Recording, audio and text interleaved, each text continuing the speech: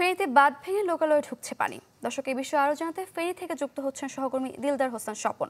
স্বপন। হ্যাঁ আমি এখন রয়েছি ফেনী পরশুরাম, বিলোনিয়া সড়ক। এই সড়কটি এক সময় আমরা কখনো আসলে এই সড়ক দিয়ে পানি উঠে নাই।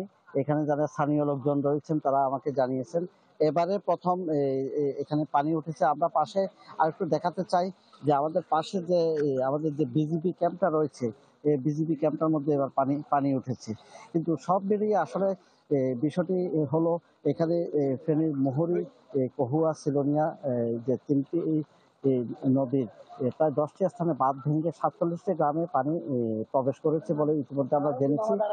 তবে প্রতি বছর পানি উন্নয়ন বোর্ড বাঁধ ভাঙ্গার পরে এখানে কাজ করে। কিন্তু কাজ করার পরে সে, দেখা যায় আবার সে ভাঙ্গন স্থান দিয়ে পানি প্রবেশ করে। এখানে স্থানীয় এলাকাবাসীর এই ধরনের অভিযোগ রয়েছে।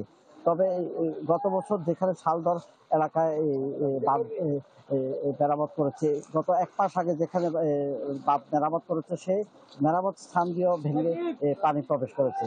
এখানে স্থানীয় এলাকাবাসীর দাবি হলো যে বাঁধ নির্মাণ করতে হবে। কিন্তু এবারের বন্যায় এ, বেশি ক্ষয়ক্ষতি হয়েছে। কারণ গত বন্যাগুলোতে আমরা দেখেছি ফুলগাজী বা অন্যান্য উপজেলাগুলোতে পানি প্রবেশ করেছে। এবারে ফুলগাজী এবং পরশুরাম দুই উপজেলার প্রায় সাতচল্লিশটি গ্রামে পানি প্রবেশ করেছে। কিন্তু পরশুরাম উপজেলার যে মহুরী নদী আর কহুয়া নদীর বাঁধ ভেঙে এখানে পানি প্রবেশ করে। এখানে যে আশপাশের এলাকাগুলো রয়েছে কিন্তু এখানে পানি প্রবেশের ক্ষয়ক্ষতি করেছে। এবার স্থানীয় এলাকাবাসী বাঁধ এ, মেরামতের জন্য দাবি জানিয়েছেন। এই ছিল আমার সর্বশেষ।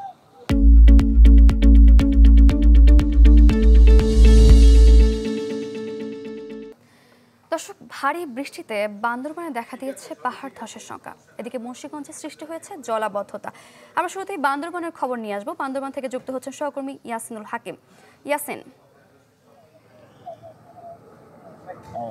সারিকা আসলে গত কয়েকদিনের টানা বর্ষার ফলে সাঙ্গু এবং মাতামহরী নদীর পানি বিপদসীমার খুব কাছাকাছি উপর দিয়ে কিন্তু আসলে প্রবাহিত হয়েছিল। কিন্তু বলতে গেলে এখন সেই পানিটা অনেকটা আসলে নামতে শুরু করেছে। গতকালকে রাত বারোটার পর থেকে আসলে সেভাবে ভারী বর্ষণ না হওয়ার কারণে পানি অনেকটা নামতে শুরু করেছে, কিন্তু বিকাল পর্যন্ত বেশ কিছু এলাকার নির্মাঞ্চলগুলো প্লাবিত হয়েছিল। মানুষ আসলে আশ্রয় কেন্দ্র আশ্রয় নিয়েছে এবং পাহাড়ে যারা ঝুঁকিপূর্ণভাবে বসবাস করছে, তাদেরকে কিন্তু সেখান থেকে সরিয়ে আনার জন্য পৌরসভা, উপজেলা প্রশাসন এবং জেলা প্রশাসন বিভিন্নভাবে মাইকিং করে এবং কাউন্সিলরদের মাধ্যমে সেখান থেকে তাদেরকে সরিয়ে আশ্রয় কেন্দ্রে আশ্রয় দিয়েছে।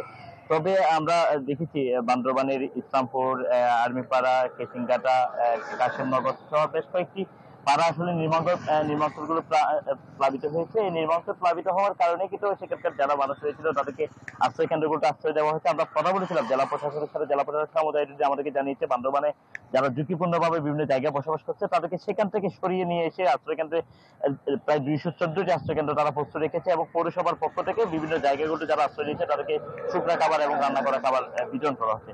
ইতিমধ্যে যে সমস্ত পরিবার আসলে ঝুঁকিপূর্ণভাবে বসবাস করছে, তাদেরকে সরিয়ে আনার জন্য উপজেলা প্রশাসন জেলা প্রশাসন পক্ষ থেকে বিভিন্ন উদ্যোগ হাতে নেওয়া হয়েছে বলে আমাদেরকে জানিয়েছে। তবে গতকালকে রাত থেকে বৃষ্টির পরিমাণ কিছুটা কমার কারণে কিন্তু যে অঞ্চল নির্মাঞ্চলগুলো প্লাবিত হয়েছিল সেখান থেকে সরে যেতে শুরু করেছে। এখন যারা আশ্রয় নিয়েছে, তারাও কিন্তু আসলে তাদের পরিবারের কাছে গড়ে আস্তে আস্তে তারা ফিরে যেতে শুরু করেছে। তবে এখনও পর্যন্ত কয়েকটি নির্মা অঞ্চল যেগুলো রয়েছে, নদীর পার্শ্ববর্তী এলাকায়, সেগুলো কিন্তু এখনও পর্যন্ত প্লাবিত রয়েছে। এখন পানির স্রোত যে পরিমাণ আছে পানি উন্নয়ন বোর্ড আমাদেরকে জানিয়েছে, সাঙ্গু এবং মাতামহরি নদীর পানি এখন বিপদ সীমার অনেকটা নিচ দিয়ে প্রবাহিত হচ্ছে। তো আশা করা হচ্ছে যদি বৃষ্টি আজকে ধারাবাহিকতা না থাকে, তাহলে আগামী কালকের মধ্যে স্বাভাবিক পরিস্থিতি বিরাজ করবে পাহাড়ি এই জনপদের যেখানকার অঞ্চলগুলো প্লাবিত হয়েছিল। সারিকা। ইয়াসিনুল হাকিম, ধন্যবাদ আপনাকে। দর্শক, এবারে জলাবদ্ধতার খবর জানাতে মুন্সিগঞ্জ থেকে যুক্ত হচ্ছে সহকর্মী শুভ ঘোষ। শুভ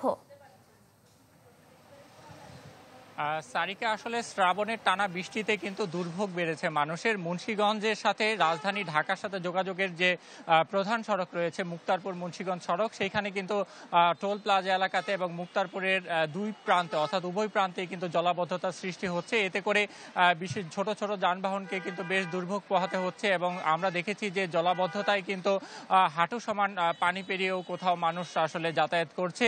এছাড়া আরেকটি বিষয় যদি জানিয়ে রাখি যে, এই বৃষ্টির কারণে কিন্তু মুন্সিগঞ্জের পদ্মা, মেঘনা এবং ধলেশ্বরী নদীতে কিন্তু পানি বৃদ্ধি পাচ্ছে এবং যে নিম্ন অঞ্চল বা চরাঞ্চল এলাকা আছে, সেখানে কিন্তু পানি উঠতে শুরু করেছে। এছাড়া আপনার যেসব এলাকাতে জলাবদ্ধতা দেখা গেছে, এর মধ্যে কিন্তু গুরুত্বপূর্ণ বিভিন্ন পয়েন্টে কিন্তু আমরা দেখছি যে আসলে সেখানকার ড্রেনেজ ব্যবস্থা খারাপ থাকার কারণে সেখানে জলাবদ্ধতা তৈরি হচ্ছে। যানবাহন চালক এবং পথচারীরা কিন্তু অভিযোগ করছে যে বর্ষা মৌসুম শুরুর আগে এইসব ব্যাপারে কোনো নজরদারি না থাকার কারণে কিন্তু এই ধরনের জলাবদ্ধতা তৈরি হচ্ছে, যা দুর্ভোগ তৈরি করছে মানুষের মধ্যে, যে কারণে এইসব দুর্ভোগ নিরসনে বা জলাবদ্ধতা নিরসনে দ্রুত আসলে কার্যকর পদক্ষেপ গ্রহণ করার তাগিদ দিচ্ছেন তারা। একই সাথে আমরা সড়ক বিভাগের সাথে কথা বলেছি, সেতু কর্তৃপক্ষের সাথে কথা বলেছি। তারা বলছে যে সড়ক প্রশস্তকরণ কার্যক্রম চলমান থাকায় মুক্তারপুরে বা মুক্তারপুর সেতুর উভয় প্রান্তে যে জলাবদ্ধতা সৃষ্টি হচ্ছে, সেটি নিরসনে এখন পর্যন্ত কোনো উদ্যোগ নেওয়া যাচ্ছে না। তবে পর্যায়ক্রমে যেহেতু সড়ক প্রশস্তকরণের কার্যক্রম চলমান রয়েছে, সেটি পর্যায়ক্রমে উদ্যোগ নিয়ে কিন্তু সেটি আসলে সময় স্থায়ী একটি সমাধানে তারা পৌঁছাতে পারবেন এবং বিভিন্ন স্থানে যে জলাবদ্ধতা তৈরি হচ্ছে তা কিন্তু আহ, মানুষের নিঃসন্দেহে দুর্ভোগ তৈরি করছে বলাই যায় আপনাকে অসংখ্য ধন্যবাদ।